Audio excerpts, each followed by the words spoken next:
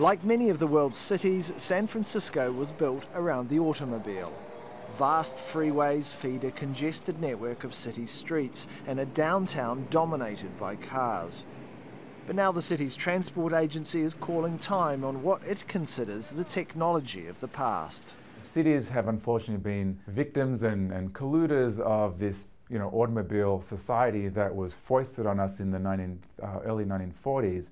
And it really isn't uh, beneficial anymore to have car dominated transport spaces.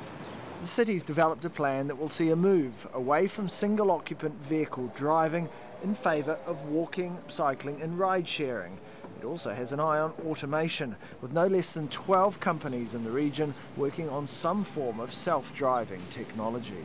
In the same way in which mobile phones have changed the way we communicate, a new generation of increasingly automated vehicles is poised to change the way we get around our cities. Here in San Francisco, one of the most congested cities in the United States, planners are looking at this technology and trying to work out how they can change our behaviour, particularly when it comes to cars. This is our, our prototype vehicle. It's Google's testing its fully automated vehicles in four US cities.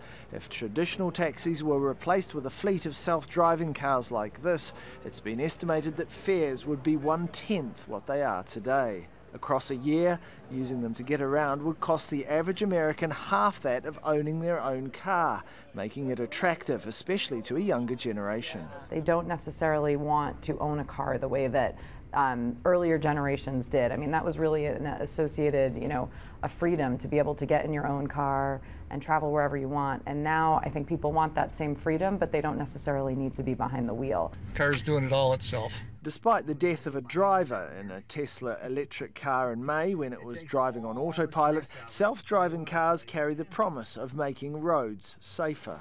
Nine out of ten accidents are caused by human error, and if a computer can do a better job, then crashes and accidents could be avoided. Drivers are very good at anticipating the future behaviors of other road users, but to get to the point the software is as good at doing that or that the sensors are as good as the human eye at detecting those things, that's still quite a distance away.